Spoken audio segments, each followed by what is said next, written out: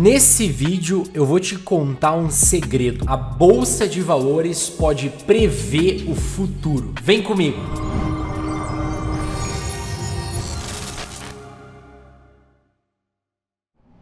Antes da gente começar, eu gostaria de me apresentar. Meu nome é Felipe Dabu, eu sou investidor e trader na Bolsa de Valores há mais de 8 anos e fundador aqui do canal Trade de Valor, um projeto que possui um único objetivo: ajudar você a investir e operar melhor na bolsa. O vídeo de hoje é curto, mas eu vou te contar como que a Bolsa de Valores pode prever o futuro. Por mais legal que sou isso, não tem nada de impressionante no que eu vou te mostrar. Sinto desapontar perguntar aí você. O que eu quero abordar nesse vídeo é o curioso fenômeno que leva a bolsa de valores a antecipar o que vai acontecer na economia real. Eu vou te dar um exemplo. No momento que eu tô gravando esse vídeo em maio de 2023, a bolsa de valores brasileira não para de subir. A alta que as ações brasileiras fizeram nessa última semana é algo impressionante. Empresas de praticamente todos os setores estão se valorizando, mesmo depois de um trimestre de resultados resultados fracos, onde boa parte dessas empresas reportaram queda na receita, prejuízos recordes e aumento no nível de endividamento. Nos Estados Unidos é a mesma coisa. Com a economia desacelerando e todo mundo prevendo uma grande recessão, os índices de ações sobem todo dia um pouquinho como se nada tivesse acontecido. Empresas como Apple, Microsoft, Google e Nvidia estão quase retornando ao topo histórico. Ou seja, é como se a economia tivesse mil maravilhas. E aí aí muita gente se pergunta: mas como assim? Como que isso é possível? Isso não faz sentido algum. E se eu te disser que faz todo o sentido? A maioria das pessoas acha que o mercado de ações reflete o que está acontecendo na economia, mas elas esquecem que na maioria das vezes, quando alguém toma uma decisão de compra e venda numa ação, essa pessoa está tomando uma decisão com base numa expectativa futura de performance daquela empresa, daquela ação. Isso significa que os preços preços das ações são influenciados por expectativas sobre o que vai acontecer e não pelo que já aconteceu. Se os investidores esperam que a economia vai melhorar, eles começam a comprar ações, o que aumenta o preço dessas ações. Isso pode acontecer mesmo que a economia atual ainda esteja ruim. Vamos pegar o exemplo de 2021. Os indicadores econômicos eram mil maravilhas. O PIB cresceu 5%, o desemprego estava baixo, o consumo doméstico das famílias cresceu 3%, 3%, os balanços das empresas vinham excepcionais, a economia estava bem. Mas muita gente não entendia o porquê das ações começarem a desabar, mesmo com todas aquelas notícias positivas. O mercado explica, os investidores estavam atentos às taxas de juro, iriam inevitavelmente começar a subir por conta dos níveis altos de inflação. Então o mercado precificava que em algum momento no futuro os efeitos da alta de juro iriam ser vistos. A gente está vendo eles agora agora. A mesma coisa acontece no momento atual. O mercado brasileiro sobe, o mercado americano sobe, provavelmente já precificando que em algum momento o juro vai começar a cair e as empresas vão vivenciar dias melhores. Coloca na tua cabeça, o mercado de ações possui o poder de antecipar eventos futuros. Os preços refletem as expectativas futuras dos investidores e não o que está acontecendo no presente com a economia. Geralmente é o que vai vai acontecer de 6 a 18 meses daqui para frente. Eu vou ficando por aqui. Eu avisei que o vídeo de hoje ia ser curto. Se você gostou desse conteúdo, considere se inscrever aqui embaixo, deixar o seu joinha e compartilhar esse vídeo com seus amigos. E se você quer mais vídeos como esse aqui no canal, comenta aqui embaixo também. Um forte abraço,